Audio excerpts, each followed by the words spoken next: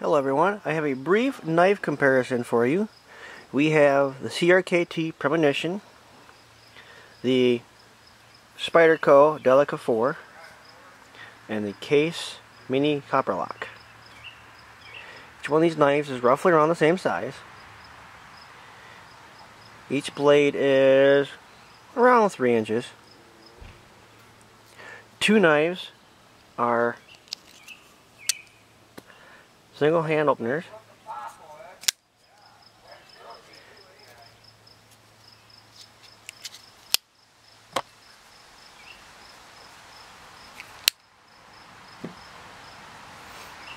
Case requires two hands.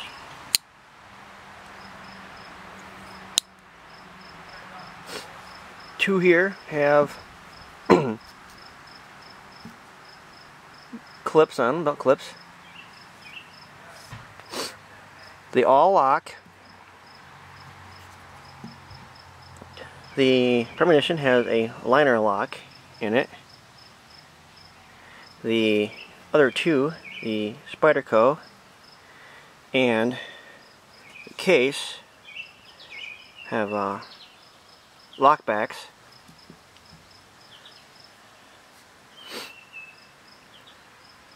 Can't tell. I like the color blue.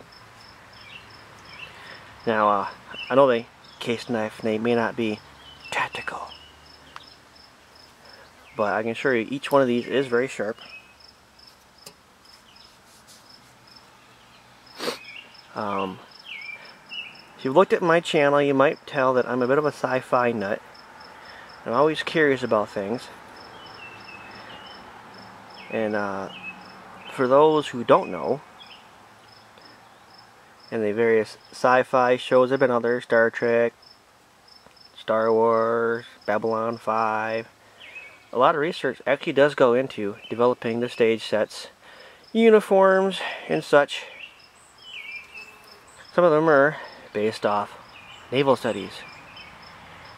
And uh, blue is considered a cool color.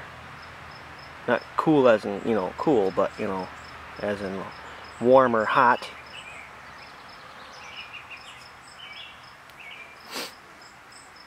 And it slows you down, makes you think more, more methodical. Also inspires confidence. Might be why state troopers wear blue uniforms. On the movie Red October, Hunt for Red October, the October used blue lighting on its bridge. The uh, Russians were always depicted, at least in the movie, as being very methodical, planning out every little detail, everything they do. Where the Americans were a little bit more rash. This might be why they were using red on their bridge. Red being a hot color, it encourages rash action which was clearly depicted on the uh, movie. And the reactions of both both captains on those ships. I think any of these knives would be a great EDC choice. I would check with your local laws to find out what the legal length for carry is. You really hate to be accused of uh, carrying a concealed weapon. That would not be cool. Um,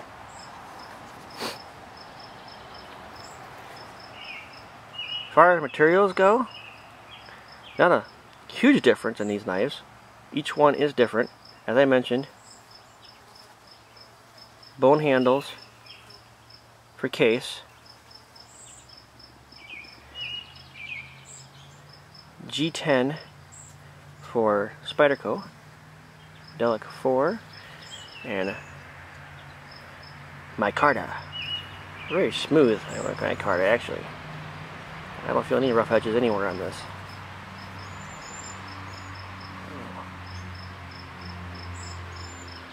Well, that was just a brief comparison.